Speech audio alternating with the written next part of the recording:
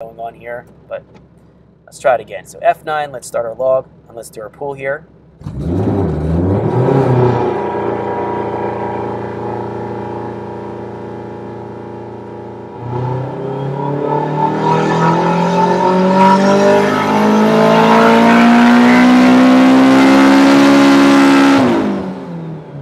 Alright, F10, let's stop. Now we can see it gained, it's a 291, it gained a bunch of power by adding timing in. Pretty sure we're way under where we need to be at. Let's take a look here at our graph, and let's see. And now it graphed all the way out, so that's, that's, that's good. I don't know what was wrong with that previous run, that was a little bit odd. Looking here, look at our air fuel. It's one pound of boost, it's 11.6. We could probably lean it out a little bit here. I'll just grab these and turn them down 10%. And then let's jump back in here and take a look.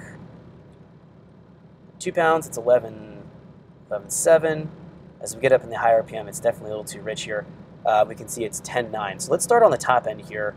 I'm just going to grab the values on the top end of the table. Do Control D, bring them down here.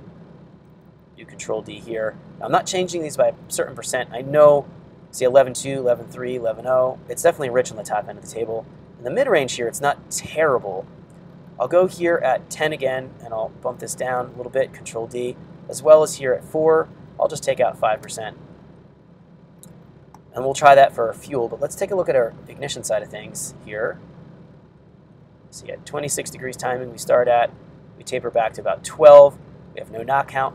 Boost is now going to 10 pounds, 11 pounds. So that is um, partly because we have such low spark timing that we're going probably that high. We're also on our zero degree cam angle, so we're also going to be going a little bit higher there as well. So there's going to be a combination of things right now. I'm not going to get super hung up with, with zero degree cam angle. I just want to make sure that it's uh, mapped out reasonably.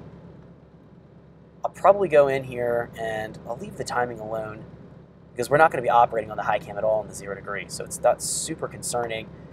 What I'll do right now, since we got our air fuel ballpark and our spark timing is, is, is ballpark as well, I'll copy my zero We'll just keep that conservative. I'll bump it into my 10. I'll go here for my zero degree